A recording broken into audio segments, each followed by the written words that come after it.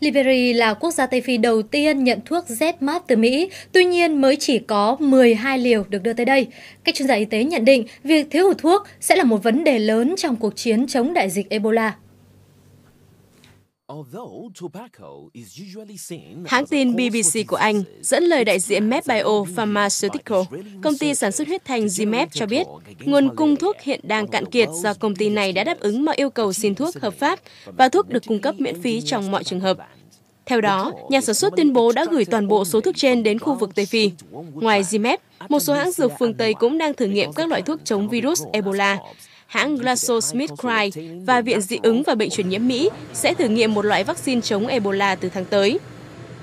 Trước đó, trợ lý Tổng Giám đốc WHO Marie von Kienin tuyên bố có hai loại vaccine tiềm năng trong việc điều trị bệnh Ebola và công tác thử nghiệm có thể bắt đầu vào cuối tháng 9 và để đến cuối năm nay sẽ có đủ thông tin về độ an toàn của thuốc trên đối với con người.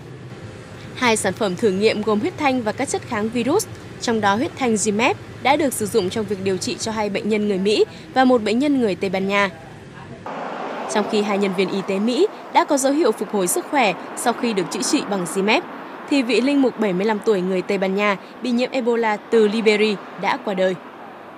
Trước đó, Zimep mới chỉ được thử nghiệm trên khỉ và chưa được đánh giá về độ an toàn khi dùng trên người. Trong một diễn biến liên quan, hãng tin Anh Reuters cho biết chính phủ Canada và nước này sẽ hiến tặng 800 đến 1.000 liều vaccine điều trị thử nghiệm Ebola đến WHO để ứng phó với dịch bệnh Ebola đang hoành hành tại khu vực Tây Phi.